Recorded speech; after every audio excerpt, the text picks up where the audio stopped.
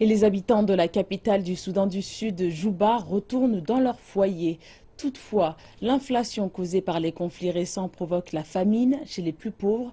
Les revendeurs disent que les prix ont doublé depuis le début des clashs la semaine dernière. Les récents affrontements sont encore visibles avec les maisons détruites ou criblées de balles qui rappellent le bain de sang qui a eu lieu ici. Certains habitants commencent à rentrer chez eux. Les Sud-Soudanais ont payé ces cinq jours de combat au prix fort. Le coût de la nourriture a doublé en raison de la pénurie. Les affaires vont mal. Tout est cher sur le marché. Quand je suis revenu, j'ai ouvert la boutique, je vendais au prix d'avant. Quand je suis parti acheter un nouveau stock, je me suis rendu compte que les prix avaient doublé. Un sac de farine de maïs se vendait 1200, maintenant c'est 2200 livres soudanaises. Je ne peux même pas refaire mes stocks. Les affaires vont très mal, personne ne vient se faire coiffer. J'ai ouvert hier, mais personne n'est venu. Nous allons attendre peut-être la semaine prochaine.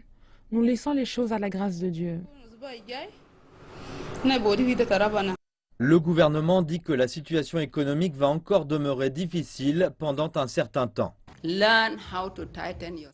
Apprenez à vous serrer la ceinture. Apprenez à vous asseoir dans un environnement serein et réfléchissez. Apprenez comment d'autres ont été déplacés dans des camps de réfugiés et ailleurs.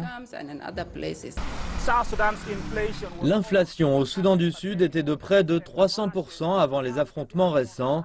Maintenant, elle est encore plus forte et beaucoup ici espèrent que la crise est derrière eux et qu'ils vont pouvoir enfin reconstruire leur vie en travaillant pour nourrir leur famille.